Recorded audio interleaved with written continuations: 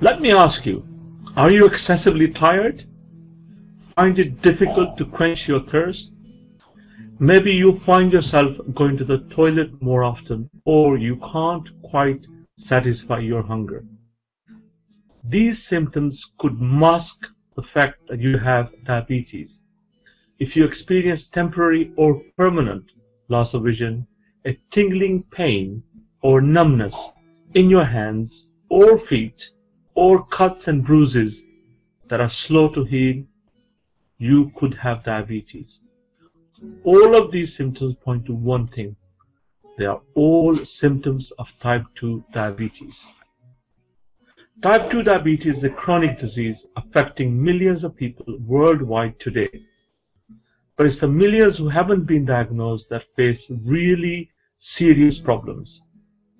If left undiagnosed, type 2 diabetes can damage your internal organs, ruin your quality of life, and shorten your life expectancy. This does not have to happen to you. There is one man who was diagnosed with type 2 diabetes he lived with it for years and experienced some of the complications. He has found a way to safely stop taking his medication and manage to reverse the complications associated with type 2 diabetes.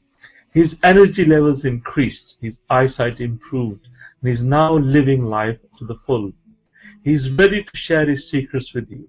Take back your life by visiting www.cureyourtype2diabetes.com forward slash type 2 diabetes.html.